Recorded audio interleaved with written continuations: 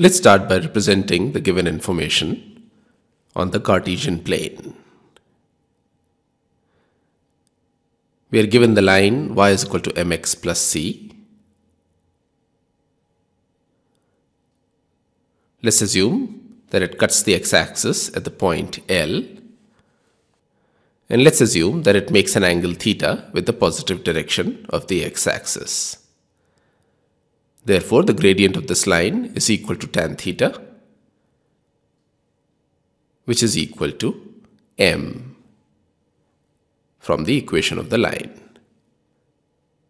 Now we are given the point x dash y dash, let's denote it by p. And from p, it is possible to draw a line that cuts the line LL dash and makes an angle alpha with it.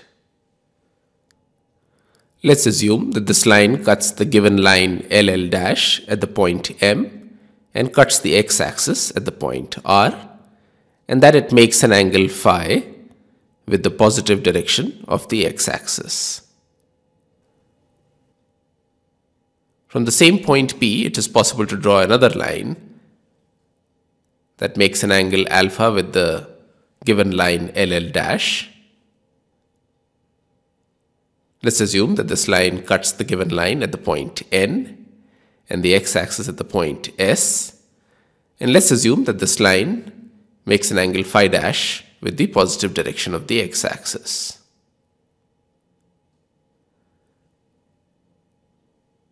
Therefore, the required lines are PR and PS. The gradient of the line PR is equal to tan phi. And since this line passes through the point P with coordinates x dash, y dash, therefore the equation of the line PR is y minus y dash upon x minus x dash is equal to tan phi. Similarly, the gradient of the line PS is equal to tan phi dash. Since this line passes through the point P with coordinates x dash, y dash, the equation of the line PS is y minus y dash upon x minus x dash is equal to tan phi dash. Now note that angle LMR is equal to alpha also note that angle MNS is equal to 180 minus alpha. Therefore, from triangle LMR, angle phi is equal to theta plus alpha and from triangle LNS angle phi dash is equal to theta plus 180 minus alpha. Taking the tangent of the first of these equations, we get tan phi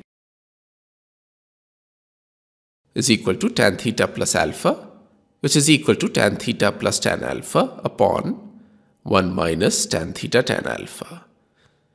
Now tan theta is equal to m and therefore tan phi is equal to m plus tan alpha upon 1 minus m times tan alpha.